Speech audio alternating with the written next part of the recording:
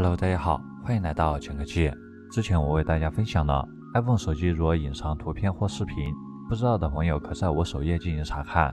那么今天我再为大家分享 iPhone 手机如何给图片加密。我们先在相册中找到想要加密的图片，打开后我们点击分享，随后滑动应用程序，找到备忘录。如果你这里没有备忘录，那么我们点击后面的三个点，完成后我们点击存储，随后我们打开备忘录。